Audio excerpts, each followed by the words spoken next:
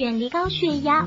一、别吃太咸，百分之七十到九十高血压患者盐摄入量超过每日六克，因为食盐中的钠离子能使血压升高，所以日常饮食中一定要控制食盐的摄入量，也要少吃腌制品、熟咸菜等。零二、睡眠充足。美国的健康营养调查发现，年龄在三十二到五十九岁，睡眠每晚五小时。高血压的患病率为百分之二十四，而睡眠在七到八小时仅为百分之十二，所以少熬夜，保持充足的睡眠对预防高血压是有帮助的。第三，一定要戒烟。有研究表明，吸一支烟后心率每分钟增加五到二十次每分，收缩压增加十二五 mmHg。所以，无高血压的人戒烟，可预防了高血压的发生。有高血压的人更应戒烟。零四，常喝绿茶，绿茶中含有茶多酚，有较强的抗氧自由基、抗动脉粥样硬化作用。多饮绿茶可以起到软化血管、预防保健的作用，降血压。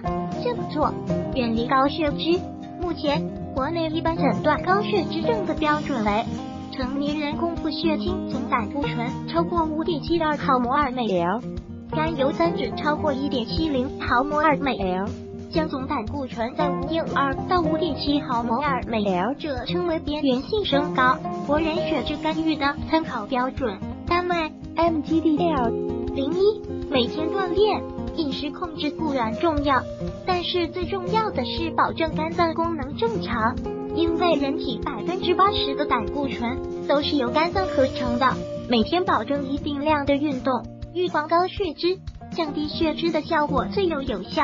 零二，蒸炖代替油炸，多采用蒸、煮、炖、穿、拌等少油的烹调方法，尽量不用油炸、油煎的烹调方法，或者也可以换成平底锅炒菜，因为常用的圆底锅加油很容易过量。当然，高油脂的食物也得少吃，偶尔吃两口没问题。天天吃，身体再好都吃不消。零三，不喝酒，少喝酒。想要不得高血脂，还是尽量不喝酒，少喝酒。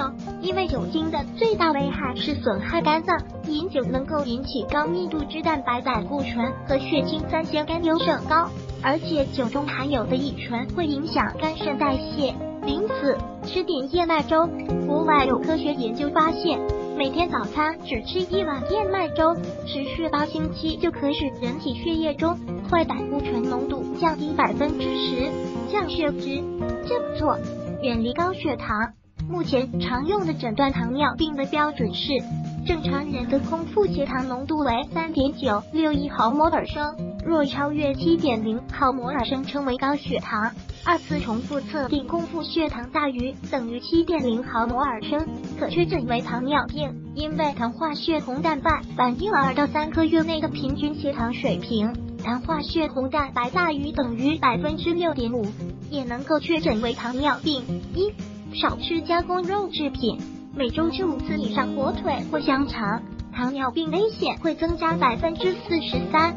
罪魁祸首是加工肉食中的添加剂。二、控制好体重，哪怕你非常肥胖，而且不锻炼，但只要体重减轻百分之五，患糖尿病的危险就会降低百分之七十。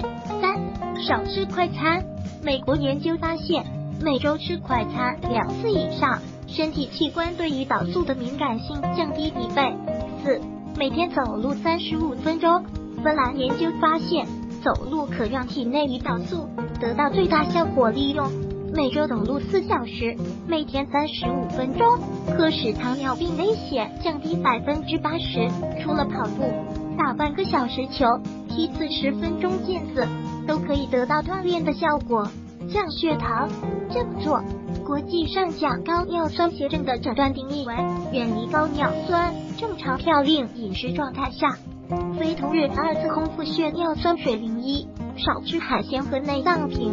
男性大于四百二十微摩尔每升为摩尔升，女性大于三百六十微摩尔每升。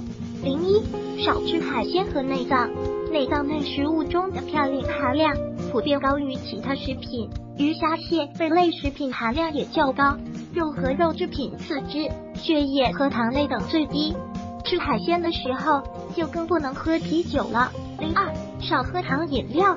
除了嘌呤，高糖的饮料、甜点也会引起痛风，尤其是高果糖食品，因为血液中的果糖含量上升，会导致血尿酸和尿液中的尿酸含量迅速增加。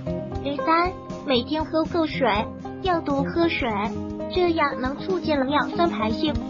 人每天应保持饮水至少一千毫升以上，不但要日间喝水，晚上睡前也要喝一杯水。